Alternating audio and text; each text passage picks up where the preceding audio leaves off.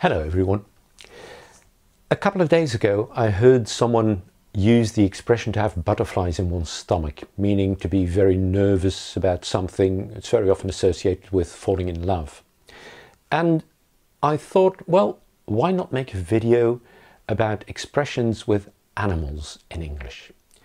And at first I thought, well, will I find enough? But then when I started thinking, writing down a few expressions, uh, I'm afraid there's going to be too many. Uh, let's start off with a few that are used as adjectives. For instance, dog tired, just meaning very tired. Pig-headed, meaning very stubborn. Dog-eared, which is something you'd say about a book or a magazine, with plenty of dog ears meaning places where people uh, turn down a corner to find their spot. Now, of course, if a, if a book has many of those, it doesn't look nice, nice anymore. It looks a bit worn, dog-eared. Or somebody could be eagle-eyed, meaning that they are very good at spotting something, uh, that they have very good eyes. Uh, you come across so many expressions. Um, for instance, somebody says, oh, I could eat a horse, meaning that they're just very hungry. Which leads me to horses. There are plenty of expressions with horses. For instance, hold your horses, meaning calm down, uh, don't run away with uh, this idea, uh, just keep calm, hold your horses. Um, I could ask someone uh, to get off their high horse, meaning to stop being angry, being annoyed, being offended. Because if somebody gets on their high horse, that exactly means that they are offended, uh, that they feel as if they're better than uh, someone else. Um, if you see someone suddenly dash off, you might say, well, they went off like a bat out of hell, like a bat out of hell, very quickly, as if in a panic. Uh, you could be blind as a bat, very blind, not seeing anything. Or uh, you could feel like a fish out of water, meaning that you're uncertain, that you're not feeling comfortable, you're not feeling in your element, like a fish that is indeed out of water. We will sometimes say that someone is a sitting duck, meaning that they are an easy target, that they are vulnerable. Uh, on the other hand, something could be water off a duck's back, meaning without any impact at all, very easily without any effect. Uh, you could uh, insult someone, but they just don't care. It's water off a duck's back. Strong as an ox. You may have heard that expression, very strong. Hmm. Uh, there are a number of those adjective as and then an animal, uh, such as sick as a dog, very sick. But you could also be sick as a pig, or sick as a parrot. And those two mean that you're just very disappointed. You can say that something has gone to the dogs, meaning that it's in a very bad state, that it's evolved and uh, that really it's become bad. Uh, it's gone to the dogs. Talking about dogs, you should normally let sleeping dogs lie meaning that you shouldn't mention awkward things that happened in the past. Just let sleeping dogs lie.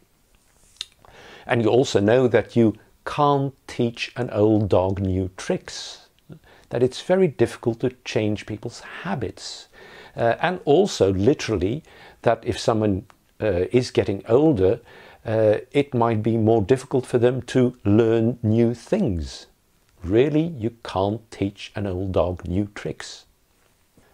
What with all these expressions, I'm starting to feel as if I've opened a can of worms, that I've caused problems by doing just one thing that has consequences. Yes, I've really opened a can of worms here. But I'm definitely not crying wolf.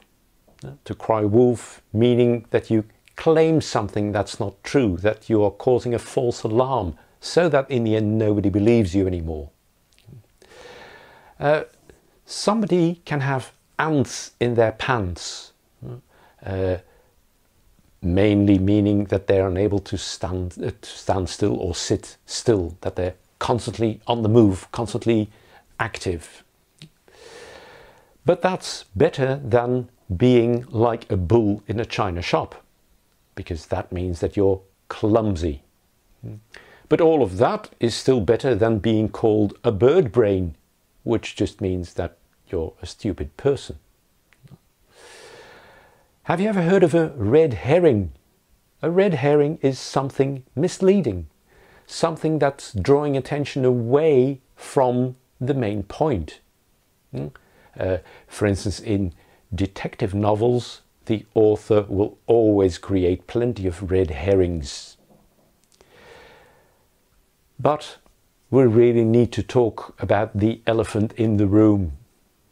The elephant in the room meaning something obvious that people are avoiding uh, a subject that nobody wants to address but everybody knows, knows has got to be addressed the elephant in the room.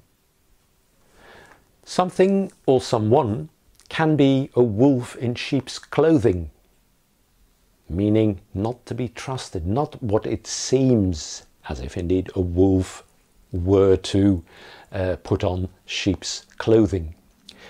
Uh, and the wolf brings me back to dogs. There's still plenty of expressions with dogs that we haven't tackled yet.